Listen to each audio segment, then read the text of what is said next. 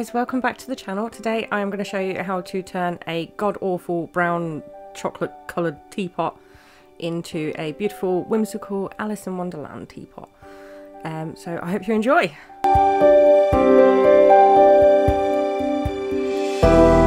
Well, I'm just going to take a minute to thank my mum for graciously allowing me to steal her teapot because although I'm English I don't actually own a teapot. I don't like tea. Uh, so literally all I'm going to do is rub it down just to take some of the shine off and then spray it with some grey um, car primer. Um, and then right now I am just adding a little bit of armature to the, I don't know, the vent bit on the teapot lid. Um, just so that I have a place for Absalom the caterpillar at the top of the teapot. For the majority of this build, I am using my Super Sculpey original, um, but I do go on to use my Cosclay for Absalom, um, only because he's kind of protruding a lot from the teapot, so he's more likely to get broken. But for the majority of the time, I am using my Super Sculpey. Right now, I am going to begin the sculpt making the Cheshire Cat.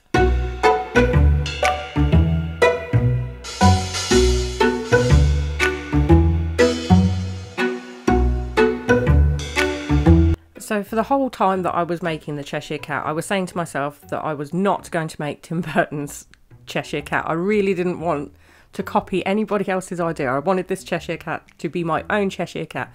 But god damn it, could I make anything other than Tim Burton's Cheshire Cat? I couldn't do it.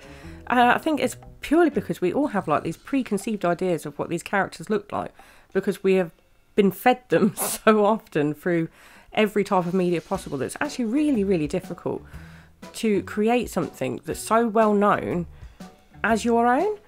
Um, so there are elements of this teapot that you can probably see that belong to Tim Burton or Disney, um, but I did my best to try and make a good portion of it mine. Now that I have successfully created Baby Sinclair from dinosaurs, Mama. I can now go on to add some extra details to try and make him look like a Cheshire cat as opposed to um, a 90s dinosaur. Was he 90s? I think he was a 90s dinosaur. Um, now I am going on to add his teeth. I have literally got a bag of teeth because every sculptor should have a bag of teeth um, made up from previous sculpts. Um, I literally just sort of cut them down a little bit and then use my tweezers to push them into my Cheshire Cat's mouth. I did use some Super Sculpey Bacon Bond, not Bacon Bond. I will remember this sooner or later. Clay adhesive. Um, yeah, some clay adhesive just to hold the teeth in. Um, and now I'm going to add sort of the lips. I don't think cats have lips, but the lips um, around just to hide like all the terrible marks that I made shoving the teeth into his mouth.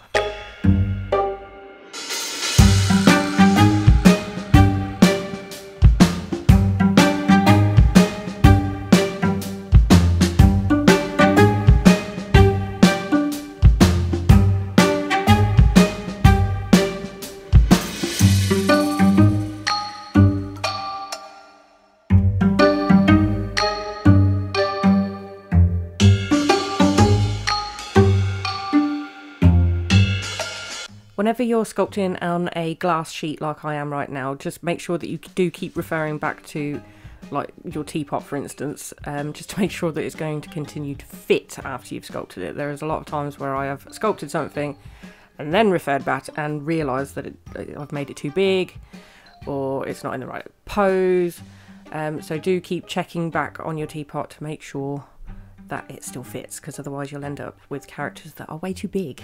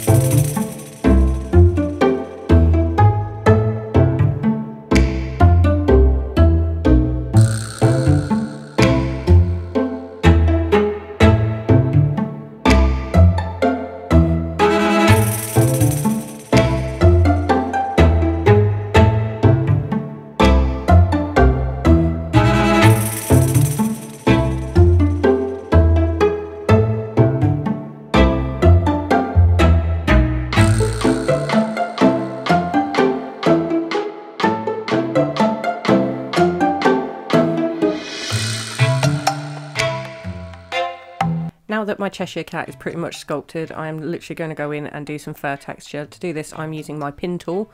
Um, I'm trying my best to go in the motion of fur, if that makes sense. It probably doesn't make sense. But I am literally trying to go in the motion that fur would go, rather because fur's not straight. And if you look at anything that's hairy, it sort of splays here, there, and everywhere. So I was trying to go with that as opposed to like really, really straight fur. Now I am going on to make the tiniest, fiddliest, bloody roses that I have ever made in my entire life. They're worth making because they look so small and pretty and dainty, but my gosh, they're really difficult to make because they're so small and delicate. Um, but my method was to make a small bud, attach it to a cocktail stick, and then create lots of balls of different shapes flatten them out on my ball stylus. I sort of upgraded the size of my ball stylus to the size of the ball of clay to make petals. Spend six hours doing that and then constructing the rose. It, it's a bit of a long process, but if you've got patience, it really is worth it because the rose looks quite small and pretty and, you know, really worth it. And you don't need to use cutters either. I'm just funny about wanting everything to be exactly the same size when in reality roses are not exactly the same size so it's probably better to not do it my way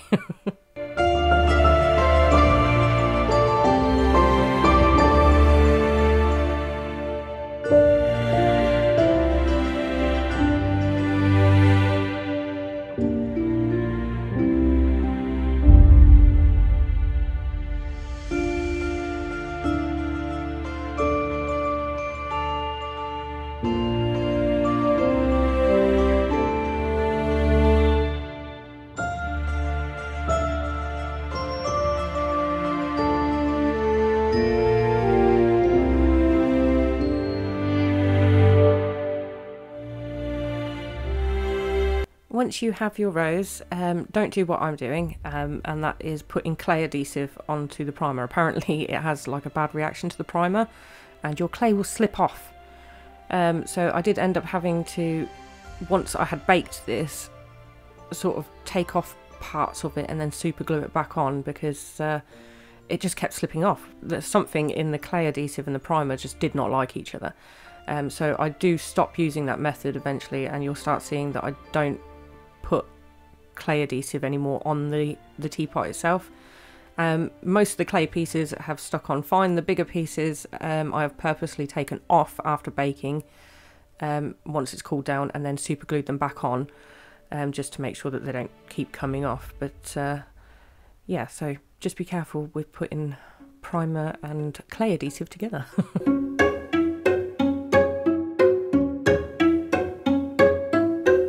Now I am moving on to the next representation on my teapot.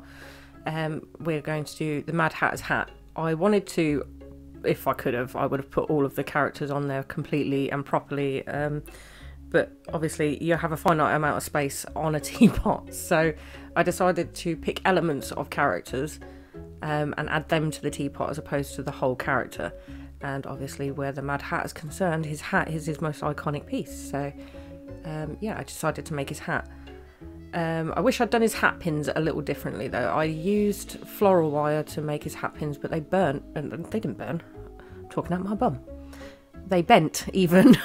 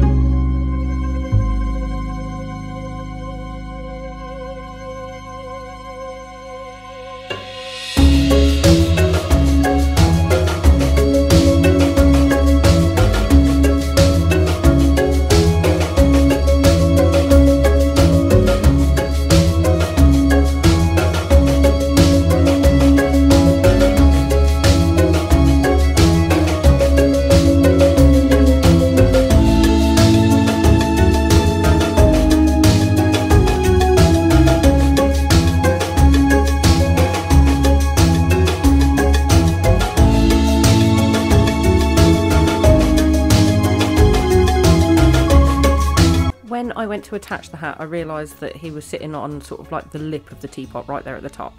Um, so I did have to pack a little bit of clay behind the teapot and sort of blend it together that way, just so that the, the hat itself wasn't like super curved over. It looked a little bit contorted otherwise. After that, it went in for its very first bake.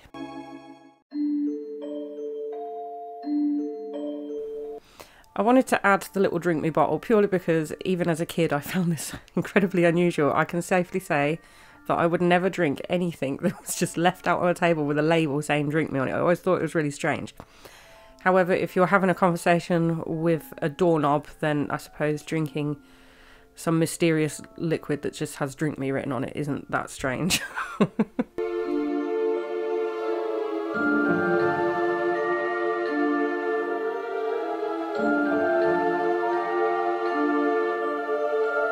So after failing at so many attempts at making the Eat Me cookie, I genuinely, I don't know what was wrong with me. I couldn't do it.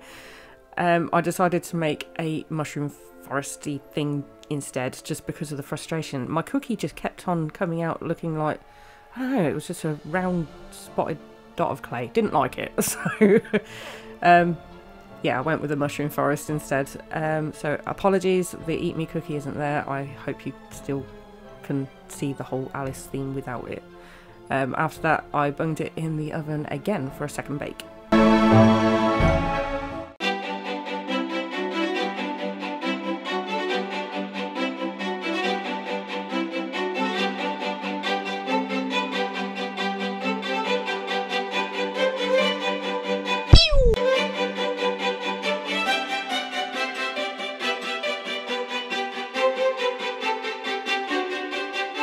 Now that I have finished throwing my creations around, because that's standard practice for you to at least ping your stuff off the table at least once per creation and then spend like five minutes underneath your desk trying to figure out where it went. I'm now going to go on to make the white rabbit. Um, I think personally for me this is my favourite part of the teapot. I really liked how he came out. Um, not sure if it's him or the pocket watch that I like the most, but together they make a really nice element to the teapot and I'm glad that I chose to make him such a big part of it.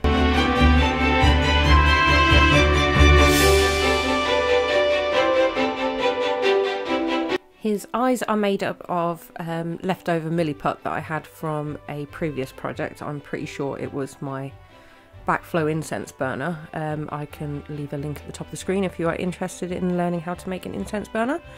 Um, so, yep, just click up here. Um, but yeah, otherwise, if I have any leftovers, like where it comes to epoxy putty clays, um, I tend to make like teeth or eyeballs out of it. So yeah, my white rabbit, although he has black eyes at the moment, he won't have black eyes at the end because I didn't want a demon rabbit, let's face it. Um, uh, but yeah, they're milliput, so it's a good way of recycling materials, especially if you've overmixed.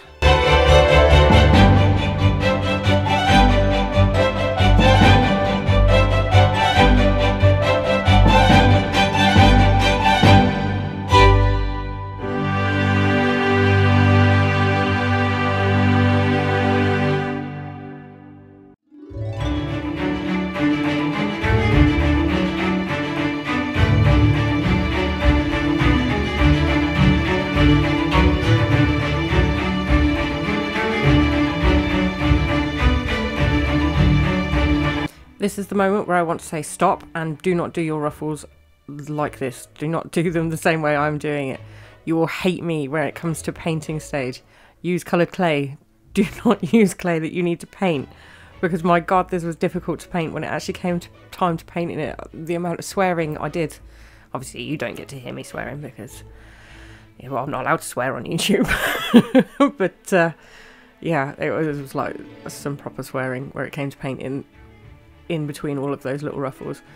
Um, so yeah, use coloured clay. Don't don't use clay you have to paint. Um, also, when you're making the collar, do the smart thing and put the jacket bit on first, and then put the collar of the coat on. Don't do it the wrong way around, like I'm doing right now, because it once again makes it difficult on yourself. I have this habit of learning this after when I look back and think, oh, that would have been so much easier if I'd done it the other way around. So yeah, pre-warning put that bit in first and then put your collar on.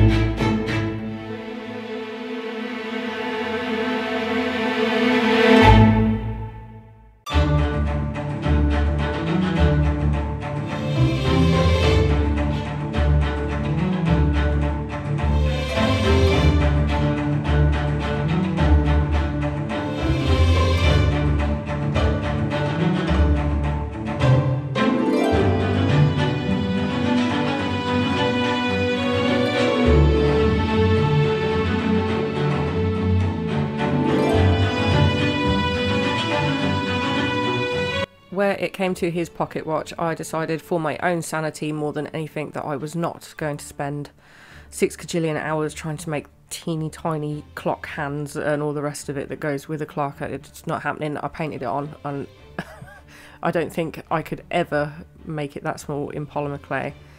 Um, although there are people out there that could, you know, kudos to them. And sometimes making small stuff is like hard. I can't make it any smaller than this, not really. So you guys that do miniatures, kudos to you.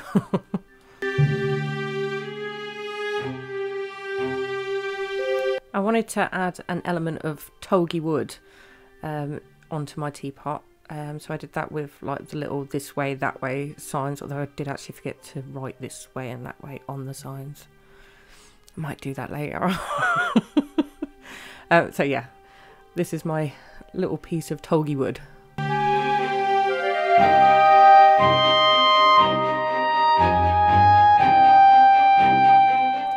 To make all the leaves for the forest, I decided against cutting all of the leaves individually. I mean, you can do it if you've got the time to do it, then by all means cut the leaves individually, but I'm just using this diamond cutter for now to sort of cut each leaf individually and then, you know, go on to detail them to make them look like leaves and then add them to my forest that way. Once I have done that, it is time to go in for its third bake.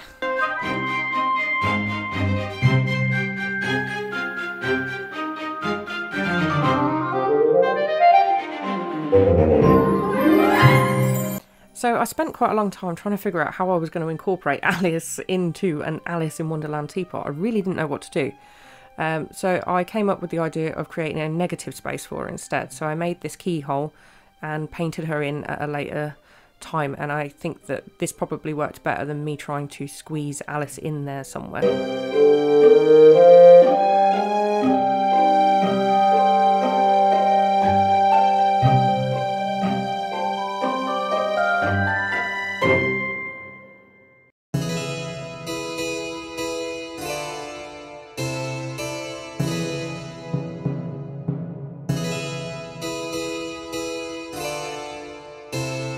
So obviously I had to add the Queen of Hearts in there somewhere because she's such a, a wonderful character. In fact, she's one of my favourite characters in the whole book. She's such a eccentric character. So I decided to add her crown to symbolise our wonderful Queen of Hearts.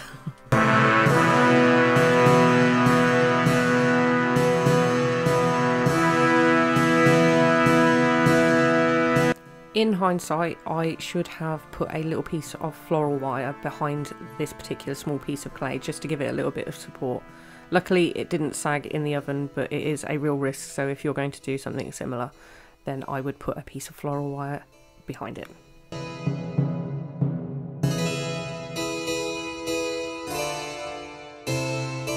If you are asking yourself why is she adding three random rectangles to her teapot, then don't worry, have faith, that painting stage, it will make sense.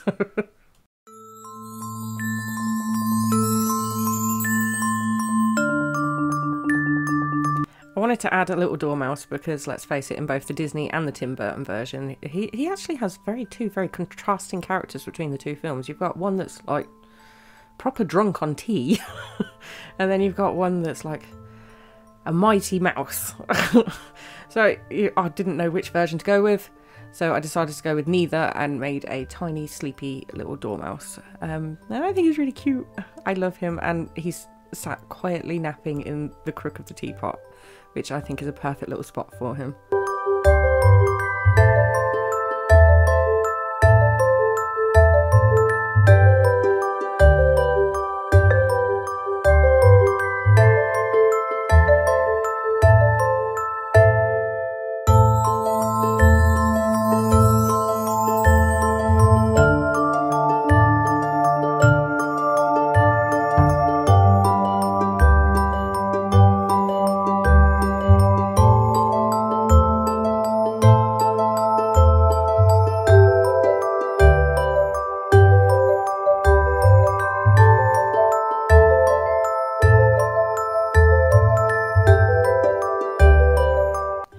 After adding a few more details, I decided it was time to go in for its fourth bake. This poor teapot has been in the oven so many times.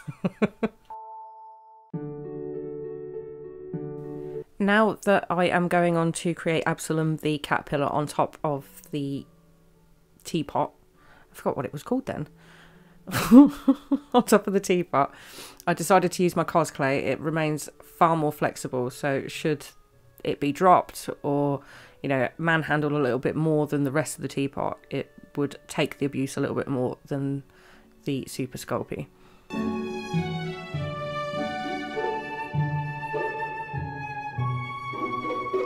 to give my armature wire just a little bit of extra support other than the glue that I put in there right at the beginning of this sculpt, I am adding a little piece of clay in there just to hold it down.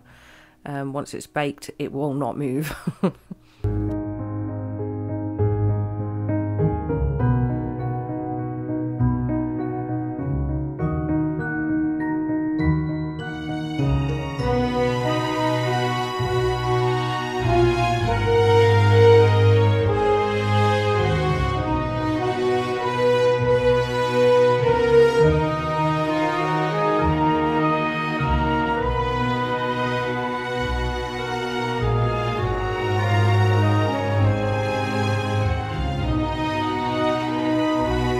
To make Absalom, I literally rolled out a sausage of clay, um, cut down the middle, and then sort of squished him onto the armature wire.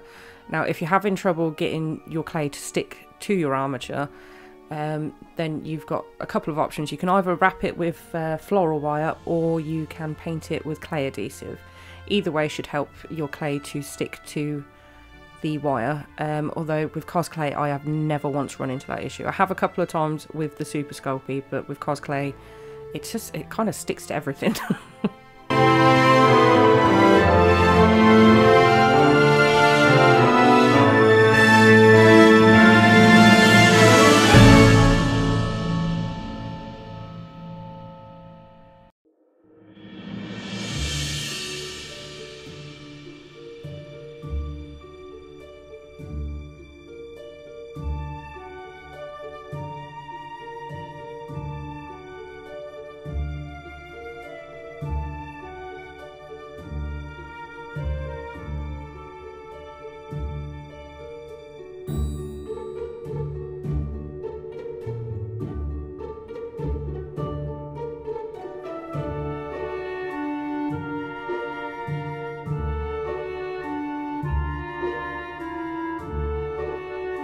This is actually my second attempt at making Absalom's face. My first attempt looked awful. like nothing like Absalom whatsoever. Um, and I don't think this Absalom looks anything like any other Absaloms either. So maybe I just succeeded in my original task of not making a standardized Alice in Wonderland teapot. I want it to be my own. So yeah, this Absalom is my Absalom. It does not look anything like anybody else's Absalom, although he is still blue like the Tim Burton one. But shh, never needs to know.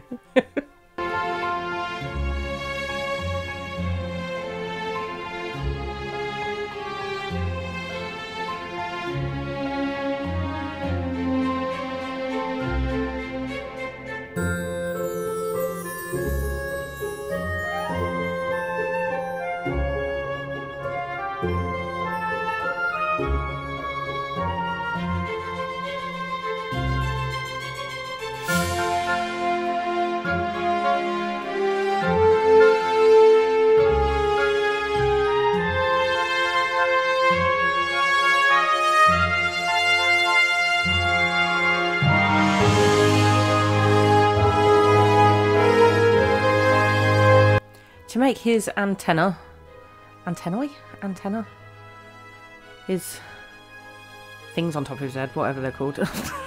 I popped um, two bits of clay over some floral wire and then just sort of poked them in. I think they're antennae. I'm pretty sure it's antennae.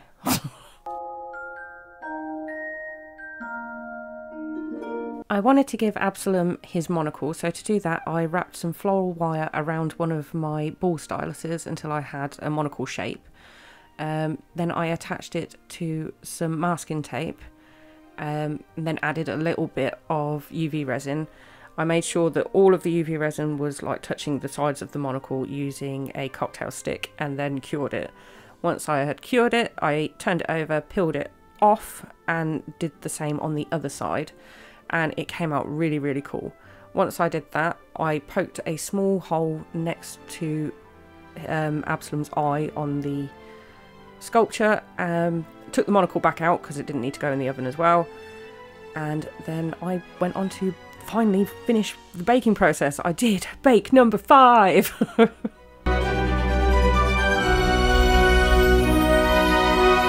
so before we get into the painting montage, I just wanted to let you know that this time I was using, well, not this time, like every time, I was using my Arteza acrylics um, along with my Daler-Rowney, Dala Rowney black and white paints. Literally, those are the only paints that I used. Um, so yeah, roll the painting montage.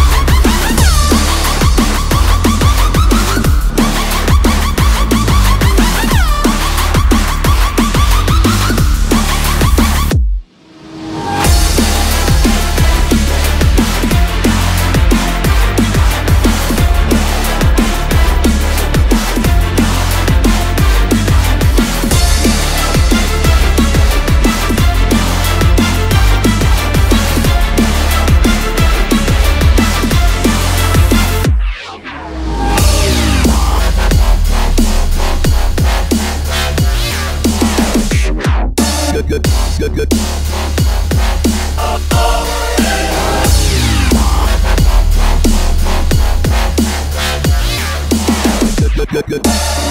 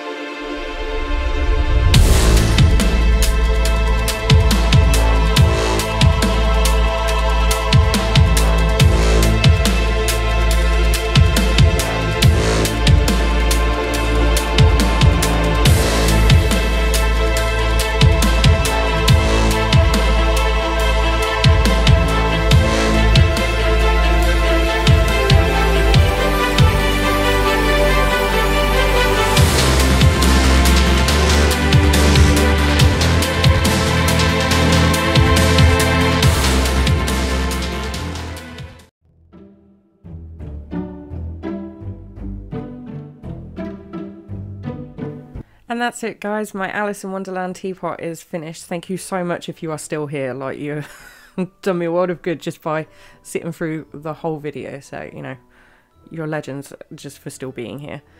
Um, if you are new to the channel, then please do take a moment to subscribe. If you like this video, there is bound to be something else in my playlist that you will thoroughly enjoy watching too.